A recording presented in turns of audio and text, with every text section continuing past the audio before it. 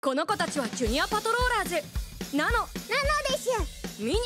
だもんそしてプチ。コンチャス。ナノミニプチにはこれからパウパトロールを。リバティと可愛いナノミニプチにマイティ注目ですよ。パウパトロールになりたいんだったらやることあるけどやる？